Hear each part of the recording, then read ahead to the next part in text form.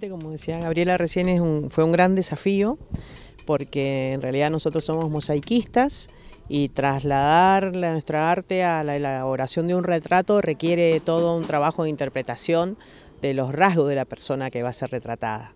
En primera instancia es reconocer la mirada de la persona, poder eh, construir sus ojos y luego otros rasgos eh, muy, muy característicos de la persona eh, de la cual nos piden el retrato. Así que ha sido un trabajo en mosaico muy, muy significativo porque no lo trabajamos en azulejo, yo lo trabajo particularmente en azulejo, en los retratos y es un, material, si bien es duro, es un poco más fácil de, cortar.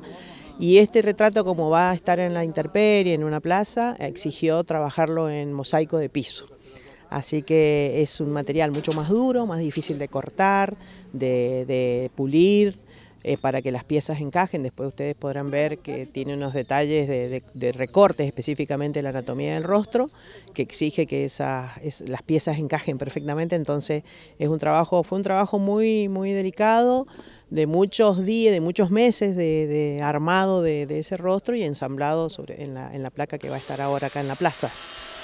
Así que bueno, Gabriela tiene mucha experiencia en la parte de, de trencadiz, así que bueno, combinamos dos técnicas eh, en la elaboración de este retrato. Fue como dijimos, un hermoso desafío, pero lo bueno es que resultó muy bien, estamos muy felices con el resultado del trabajo y contentas de poder emplazarlo.